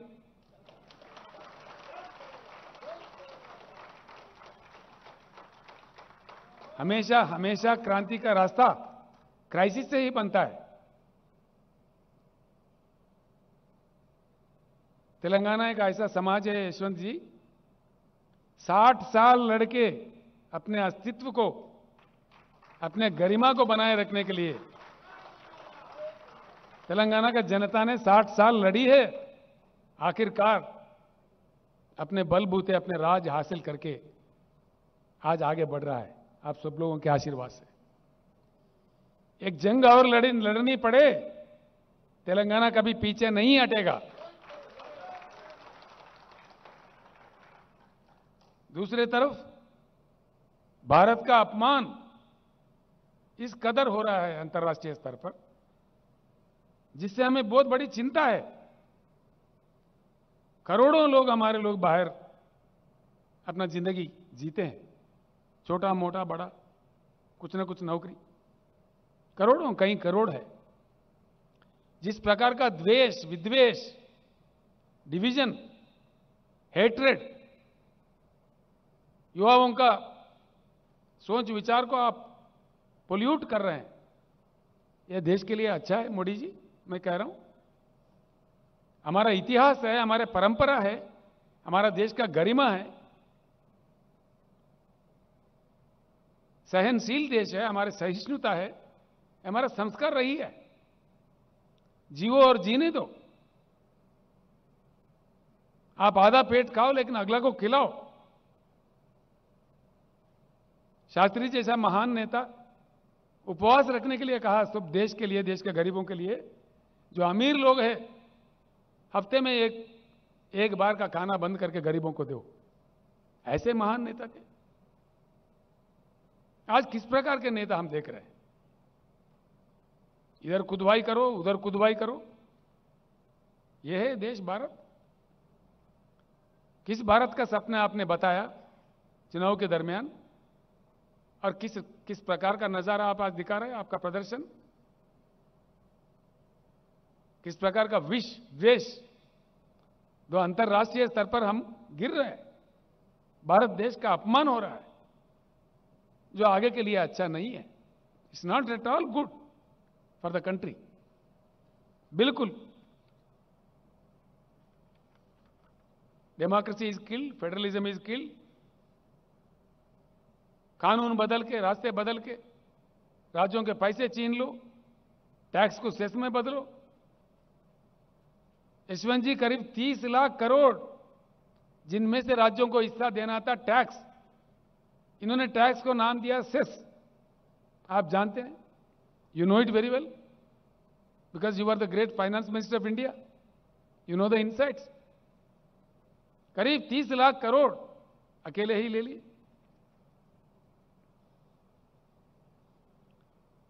हैरत तो इस बात की है, जिनको पूरे देश ने मान्यता दी है, और विदेशों में भी जब हम जाते हैं किसी विदेश में, कहीं गए किसी जगह, भाई आप कहाँ से हो?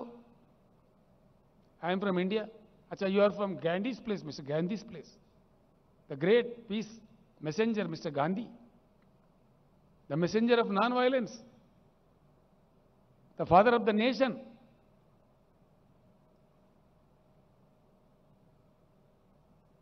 अरे आपका इतना मतलब impatience father of the nation को भी आप लोग अपमानित करते हो। Father of the nation Swachh Bharat mission में गांधी जी का ऐनक लगाते। गांधी जी के समाज पे आप नाटक करते प्रदर्शन। और आपके आपके लोग गांधी जी का कितना अपमान करते हैं हर दिन। इस चीज़ के बारे में क्या मोदी जी आपको मालूमात नहीं है? कि आप इतने दुर्बल प्रधानमंत्री है कमज़ोर प्रधानमंत्री, इनको कंट्रोल नहीं कर पाते। गांधी जी को हमारे देश में, हमारे देशवासी अपमानित करे। ये अपने आप को अंतर्राष्ट्रीय स्तर पर सर झुकाने की बात है। भारत के गरिमा को कम करने की बात है। ये भारत के इज़्ज़त को बढ़ावा नहीं देगा। क्या कहेंगे दुनिया हमको? बाहर देशों में क्या कहेंगे लोग हमको? हमारे जिनको हमने जाति पिता जो फादर ऑफ़ द नेशन कहा, हम खुद उनके अपमान करें तो अंतर्राष्ट्रीय स्तर पर भारत का गरिमा क्या होगा? इतना भी आपके पास इंफॉर्मेशन नहीं है मोदी जी? आप अंदर से उचका रहे हो, बाहर नाटक कर रहे हो, देश जान गए आप क्या है?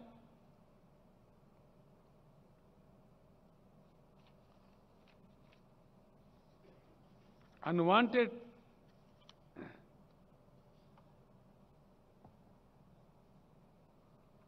और आपके नीति, देखिए, किसी भी प्रधानमंत्री के समय, जब सारा दुनिया पार्लियामेंट्री डेमोक्रेसी अडॉप्ट किया है, चुनाव के प्रक्रिया को लेकर चला रहे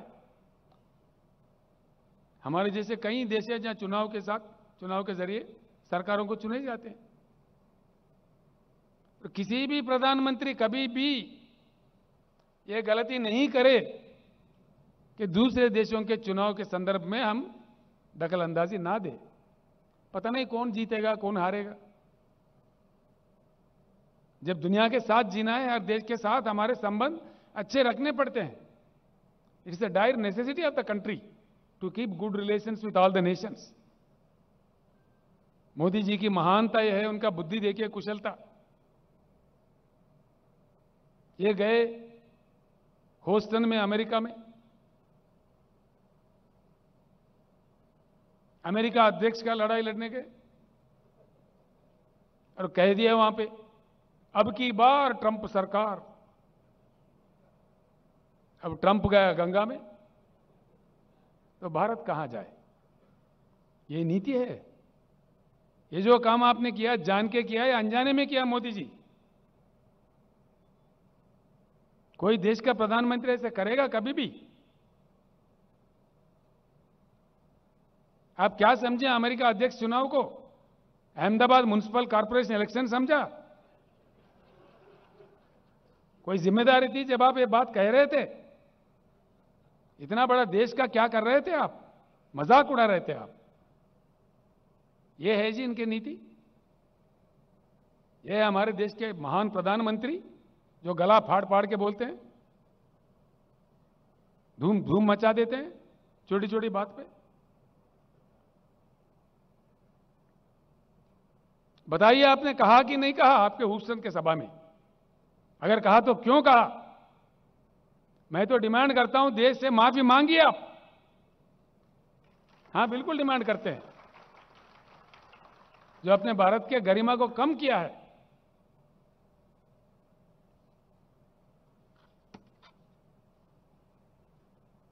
जो कि देश को आज सर झुकाना पड़ रहा है।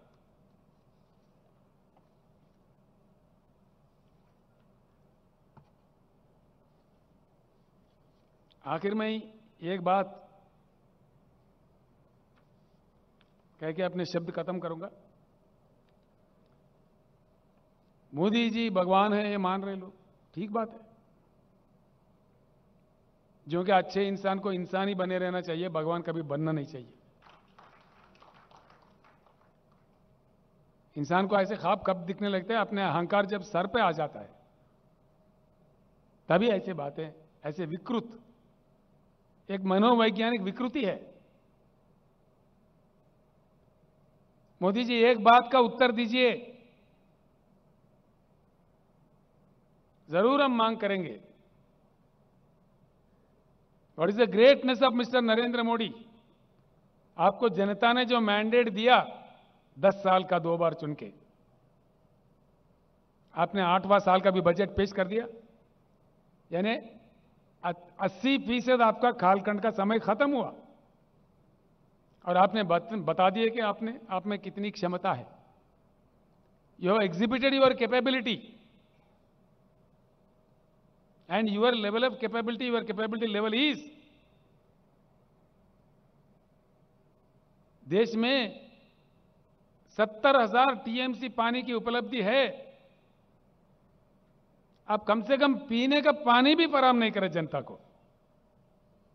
और शर्म की बात यह है, पीने का पानी देश के कोना कोना तो छोड़ो, देश के राजधानी दिल्ली में भी आप पानी नहीं दे पा रहे यह आपकी मान्यता है।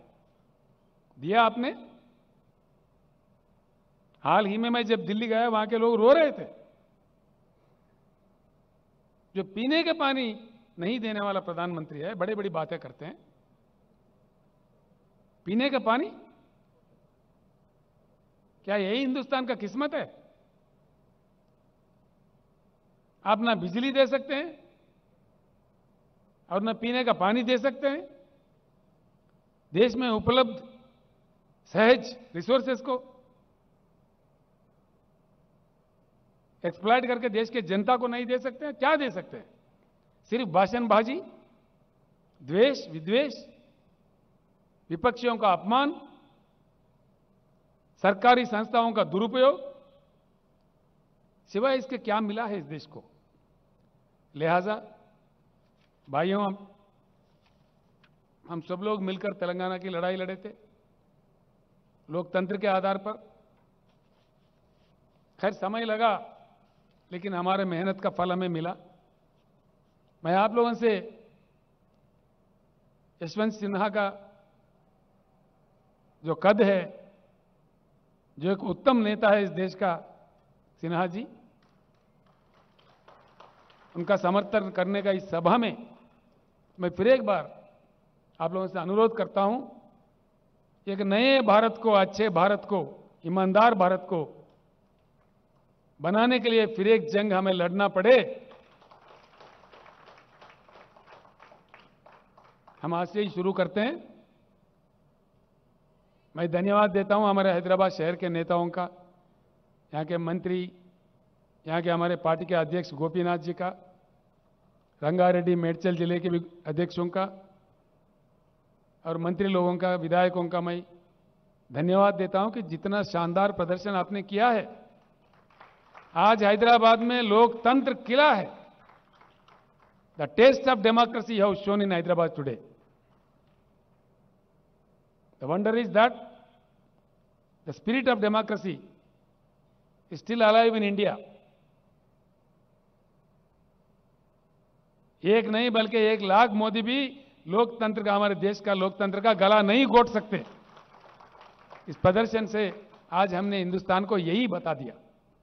जिसका मुझे गर्व है।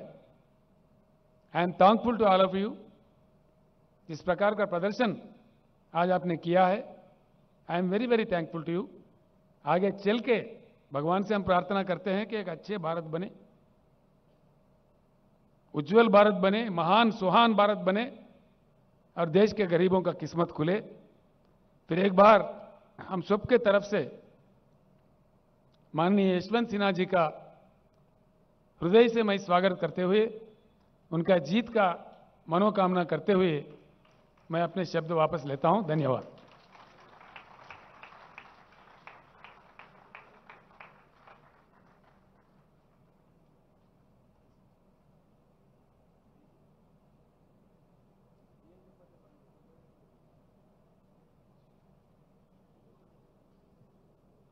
I request uh, Yashwant Sinha ji to address the gathering.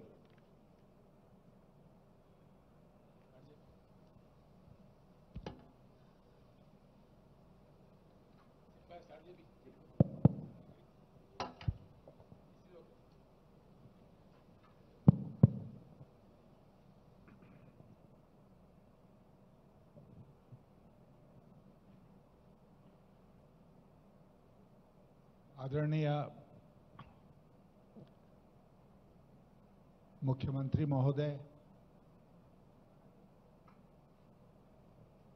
संसद में तेलंगाना राष्ट्र समिति के नेता नमा नागेश्वर राव जी, हमारे सहयोगी सुधींद्र कुलकर्णी जी यहाँ उपस्थित सारे सांसद और विधायकगण और मित्रों, आज यहाँ आकर मैं अभिभूत हूँ। आई एम ओवरवेल्म्ड क्योंकि आज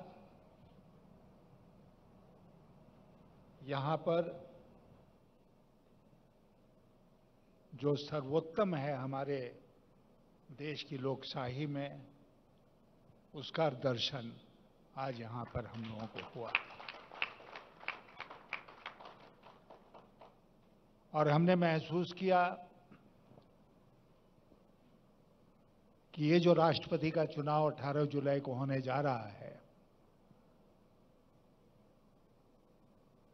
वो आज यहाँ पर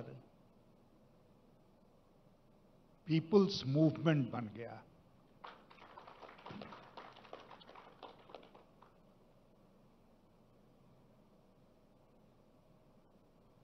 ये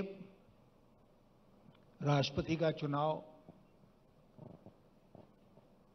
मेरे लिए उस लड़ाई की श्रृंखला में एक कड़ी है,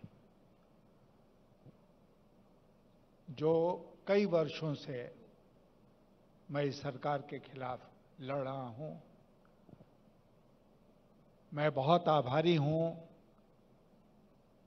सम्मानित मुख्यमंत्री जी का, कि हमारे नामांकन के दिन 27 जून को इन्होंने अपने मंत्री के टी रामाराव जी को भेजा था दिल्ली और उनके आने से हम लोगों को बहुत बल उस दिन प्राप्त हुआ था।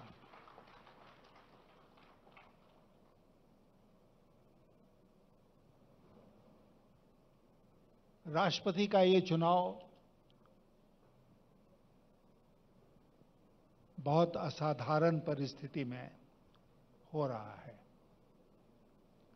और इसीलिए शायद इस बार का चुनाव कुछ विशेष है।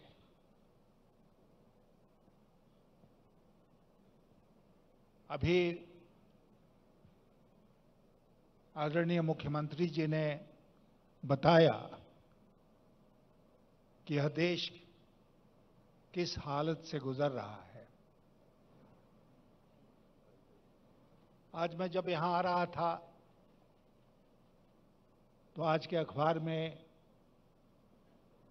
एक बहुत ही विशिष्ट हमारे देश के विद्वान हैं, नोबेल प्राइज विनर हैं, अमर्त्य सेन जी। उनका एक वक्तव्य छपा है जिसमें उन्होंने कहा है कि द नेशन इज़ कोलैप्सिंग। ये मुल्क जो है, वो बर्बाद हो रहा है, कोलैप्स कर रहा है।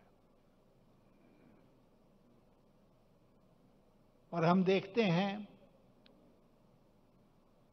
कि हर दृष्टिकोण से वो कोलैप्स हमारे सामने है। एक मिनट के लिए हम राष्ट्रपति के चुनाव को किनारे रख दें। तो मैं आपसे पूछना चाहता हूँ कि क्या ना, एक नागरिक की हैसियत से हम इस बात को बर्दाश्त करेंगे कि हमारा देश बर्बाद हो जाए? प्रधानमंत्री जी से मेरी कोई व्यक्तिगत लड़ाई नहीं है विदेश की भावना नहीं है। हालाँकि इस बात का मुख्यमंत्री जी इस बात का मुझे ज़रूर सख्त अफसोस है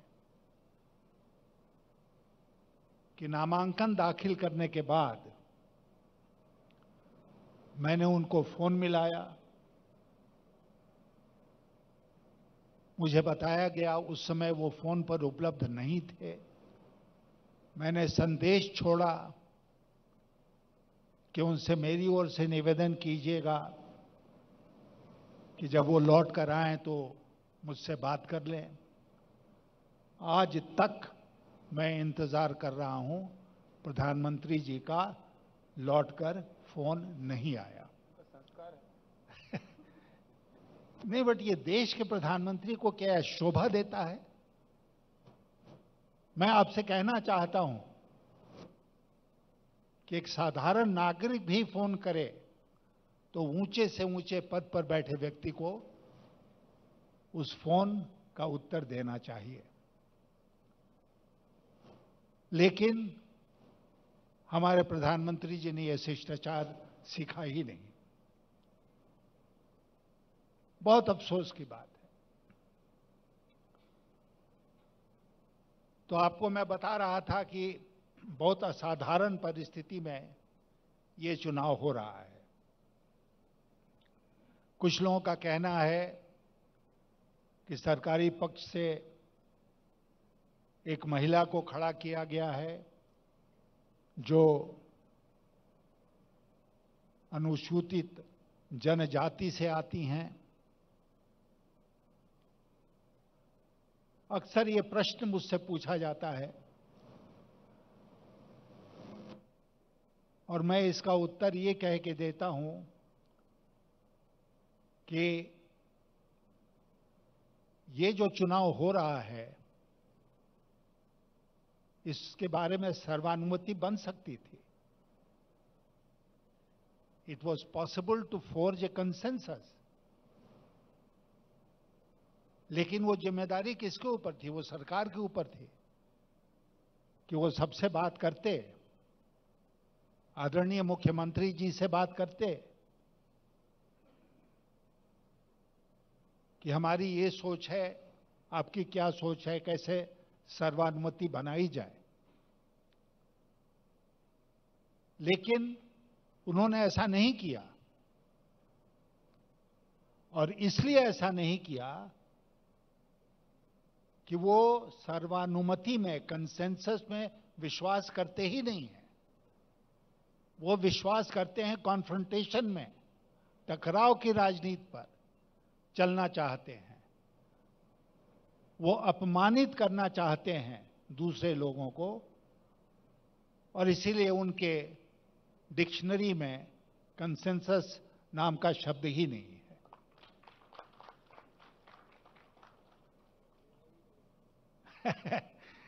तो मैं आपसे पूछना चाहता हूँ, एक बहुत ही प्रगतिशील और बड़े प्रदेश के आप प्रतिनिधि हैं, क्या हमारे देश में यही चलेगा? क्या एक तरफा सब कुछ होगा?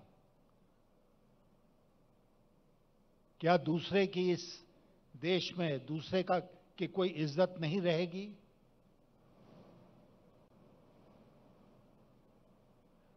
और इसीलिए हम ज़ोर देकर इस बात को कह रहे हैं कि ये दो व्यक्तियों की लड़ाई नहीं है आज राष्ट्रपति का चुनाव। ये दो व्यक्तियों के आइडेंटिटी की लड़ाई नहीं है। ये एक विचारधारा की लड़ाई है, एक आइडियोलॉजिकल बैटल है। और उस लड़ाई को हम आपकी, आपके सहयोग से लड़ और जब हम लड़ाई में जाते हैं तो हम इस बात की चिंता नहीं करते हैं कि सामने जो हमारा प्रतिद्वंदी खड़ा है, उसके पास कितनी बड़ी तलवार है, उसके पास कितनी बड़ी फौज है। अगर हम सचमुच अपने कॉज में बिलीव करते हैं तो हमारे पास जो भी औज़ार होगा, जो भी हथियार होगा, उस हथियार से हम उस दुश्मन का मुकाबला करेंगे। आज हमारे देश में यही परिस्थिति बन गई है। कल सुप्रीम कोर्ट का एक फैसला आया, बहुत सारे, बहुत सारा ऑब्जर्वेशन उसमें है। एक मीडिया हाउस है जिसका नाम है ऑल्ट न्यूज़। और एक जुबेर साहब हैं जो उसको चलाते हैं। ये आरोप लगाकर कि वो देश में वैमनस्य फैला रहे हैं, उनको जेल में बंद कर दिया गया। लेकिन भारतीय जनता पार्टी की उस प्रवक्ता को जिसने जहर फैला दिया इस देश में उसके खिलाफ कोई कानूनी कार्रवाई अभी तक नहीं हुई है। क्या प्रधानमंत्री जी हैदराबाद में जब भाषण देंगे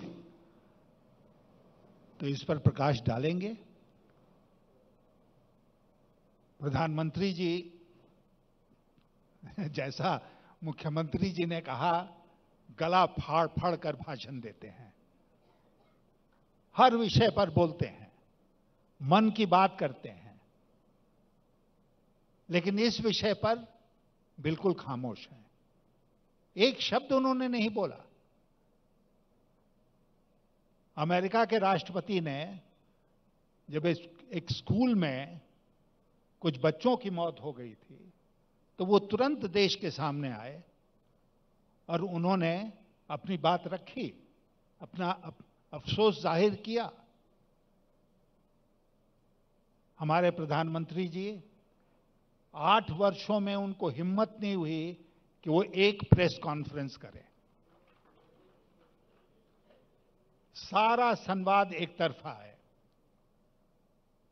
क्या यही लोकशाही है? क्या यही प्रजातंत्र है कि एक आदमी बोलेगा और 140 करोड़ लोग सुनेंगे? ये हमारे देश में आज हो रहा है। और इसके खिलाफ हमें लड़ना है। आज ये चुनाव, जैसा मैंने आपसे कहा, यहाँ आने के बाद कि ये एक पीपुल्स मूवमेंट बन गया है।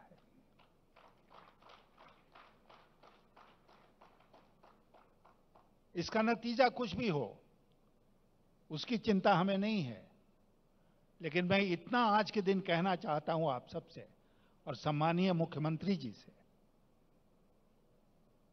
कि ये लड़ाई जो है, वो इस चुनाव के बाद भी चलेगी। हम लड़ते रहेंगे। और मैं ये साफ़ शब्दों में आज कहना चाहता हूँ कि आपके आदरणीय, हमारे आदरणीय मुख्यमंत्री तेलंगाना के जो हैं इनके साथ मिलकर हम लोग इस लड़ाई को लड़ेंगे पूरे देश में।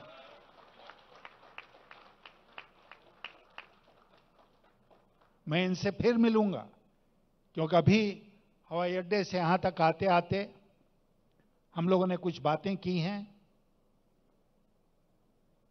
कुछ और बातें आगे बढ़ानी हैं तो हम इनसे फिर मिलेंगे, फिर बात करेंगे कि इस लड़ाई को आगे कैसे बढ़ाया जाए। इस देश को ज़रूरत है केसीआर जैसे नेताओं को।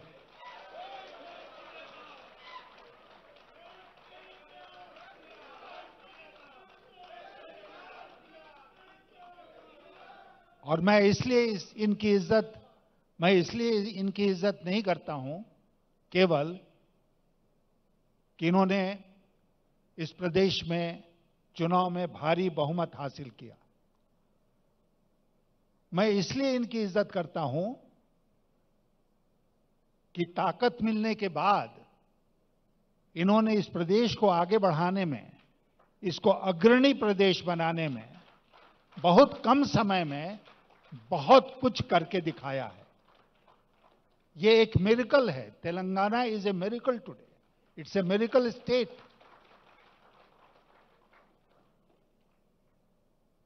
और ये वही आदमी कर सकता है जिसके मन में जनता के प्रति समर्पण का भाव हो, जिसके मन में एक विजन हो, और वो मौका मिलने पर उस विजन को धरती पर उतारने का काम करे। आपके मुख्यमंत्री केसीआर जी उसी प्रकार के व्यक्तित्व हैं।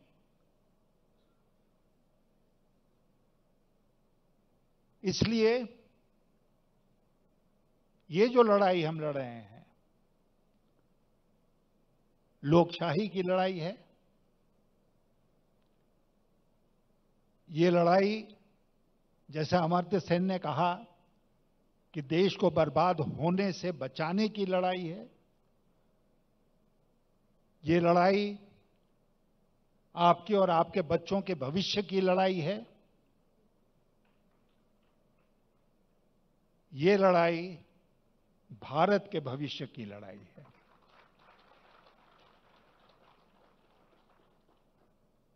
और आज इस स्थल से, इस शहर से हम उस लड़ाई की शुरुआत कर रहे हैं। केवल चुनाव राष्ट्रपति का अपने आप में बहुत मायने नहीं रखता है। कोई ना कोई चुनकर राष्ट्रपति भवन जाएगा।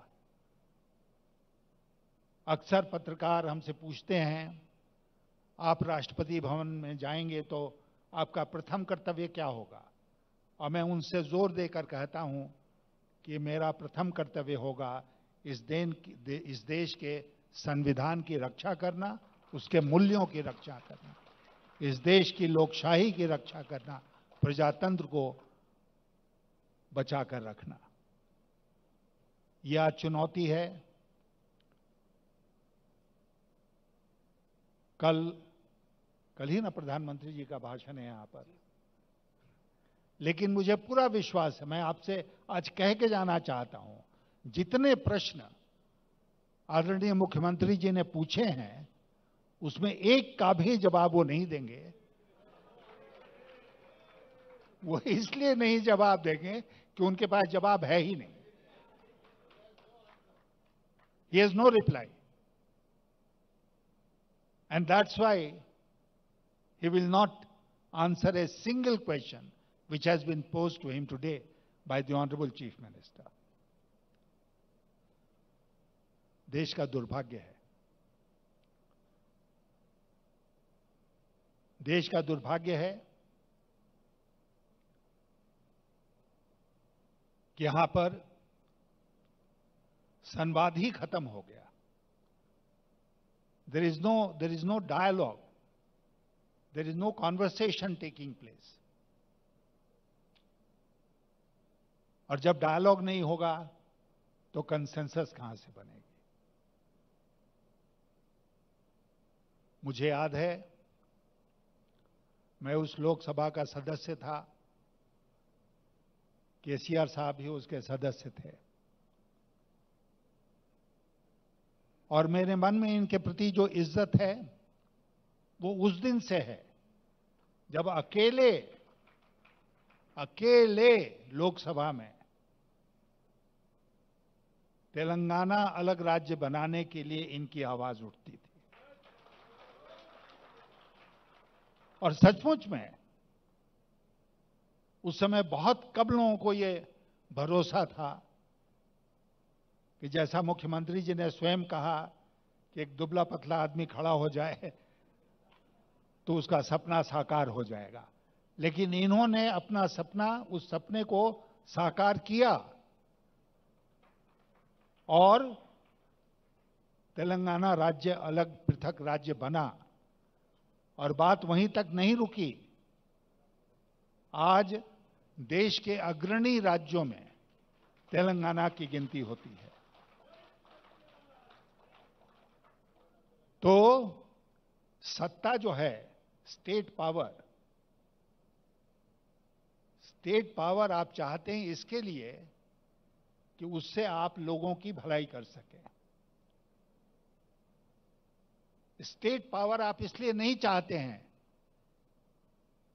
कि आपके पास जितनी ताकत है, आपके पास जितनी एजेंसियाँ हैं उसका आप अपने राजनीतिक प्रतिद्वंदियों के खिलाफ इस्तेमाल करके दुरुपयोग करें उनका। जैसा आज हम देख रहे हैं। आज ही अखबार में हम लोगों ने पढ़ा 2004 का कोई एफिडेविट था शरद पवार साहब का। उनको नोटिस मिल गई इनकम टैक्स की। इतना दुरुपयोग, मैं आपसे कहना चाहता हूँ, मैं पाँच वर्षों तक अटल जी की सरकार में इस देश का वित्त मंत्री था। एनफोर्समेंट डायरेक्टरेट ईडी उस समय वित्त मंत्रालय में हुआ करती थी। मेरे दिमाग में दूर दूर तक ये बात नहीं आई कि हमारे जो विरोध, विरोधी हैं राजनीति में, उनके खिलाफ इसका दुरुपयोग किया जाए। और जब मैंने पूछा किसी से कि भाई कैसे कोई सरकार का मंत्री एजेंसी के प्रमुख को बुला के कहेगा कि उस आदमी के पीछे लग जाओ, उसको पकड़ो, उसको अपमानित करो। कैसे कहता है?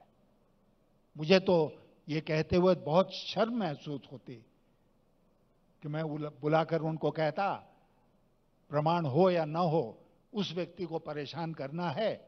वो मेरे मुआफिक नहीं है, इसलिए तुम उसके पीछे पड़ जाओ। लेकिन आज ये प्रत्यक्ष देखने को मिल रहा है। इतना दुरुपयोग सरकारी एजेंसियों का इसके पहले कभी नहीं हुआ है और वो भी राजनीति के लिए। तो इसलिए क्या हम चुपचाप देश को बर्बाद होते देखेंगे? क्या हमारा ये कर्तव्य नहीं बनता हुआ चुने हुए प्रतिनिधि के रूप में, एक नागरिक के रूप में हम इसका विरोध करें? और मुझे पूरा विश्वास आज हो गया। यहाँ आने पर हैदराबाद। और आप सबका उत्साह देखने के बाद कि इस देश में लोकशाही को कोई हरा नहीं सकता है।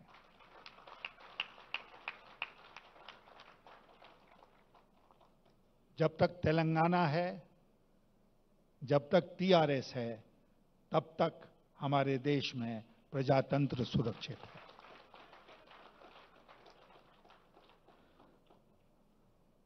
आया था आपसे समर्थन मांगने के लिए। मुझे पहले ही विश्वास दिलाया था, जब, मुख्यमंत्री जी से मेरी बात हुई थी और जब केटीआर आ गए थे हमारे नामांकन में तो पूरा विश्वास हो गया कि हमें इस यहाँ का समर्थन मिलेगा। लेकिन यहाँ आने के पहले, और मैं इस बात को स्वीकार करता हूँ, क्योंकि कई जगह घूम के आ रहा हूँ, मुझे अपने मन में यह विश्वास नहीं था। विश्वास था कि वोट मिल जाएगा। लेकिन यह विश्वास नहीं था कि इतना स्वागत होगा। यह विश्वास नहीं था कि आज यहाँ से एक नए युद्ध की शुरुआत होगी और वो राष्ट्रपति चुनाव, वो राष्ट्रपति चुनाव में खत्म नहीं होगी, उसके आगे भी चलेगी और हम सब मिलकर उस लड़ाई को लड़ेंगे। मुख्यमंत्री जी, आपका बहुत बहुत धन्यवाद। आप सब मित्रों का धन्यवाद और आप सबको मेरी शुभकामनाएँ। जय तेलंगाना।